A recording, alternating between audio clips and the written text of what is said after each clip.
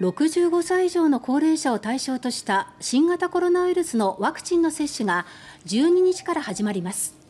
各地で今日受付が始まりましたが東京・八王子市ではすぐに予約の上限に達し受付を停止しました。ちょっと予約の枠がちょっと少なくなっておりまして。午前9時に八王子市の受付が始まるとコールセンターには電話が相次ぎました八王子市で対象となる高齢者はおよそ16万人ですが予約は先着順ですぐに上限に達したため受付が停止されました。高齢者が多い八王子市と世田谷区は都内で最も早い12日から接種が始まる予定で今週中にそれぞれ1950回分のワクチンが届きます。世田谷区では高齢者施設の入所者や職員から接種を始めるとしています。